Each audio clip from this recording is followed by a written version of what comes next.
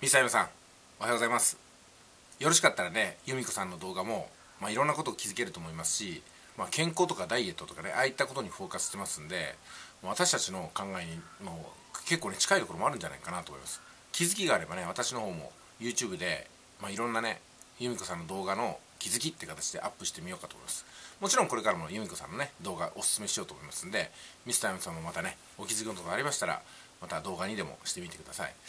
うん。でね焼肉ねすごく楽しみなんですけどもこの焼肉に関しましては私たちはそのタンパク質のすごくね重要な補給源だと思いますしあとモチベーションですよね。大好きな焼肉を食べるみたいな。そういった形が考えられるんですけども由美子さんに聞くのちょっとね怖いんですよね。焼肉食べていいですかねみたいな 意見が分かれそうで。そんなことないですかね。うん。まあ、なんかすごく野菜とかあのすごく食べてそうだなって気がするし断酒をするってことは結構肉食系はちょっと離れたのかなって勝手なイメージなんですけどね。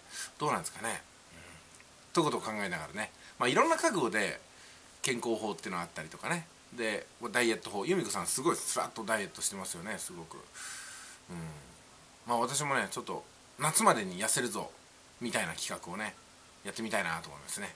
夏まで。今もうね6月を考えないといけないと思いますけども賞味1ヶ月ですね。あっという間ですね。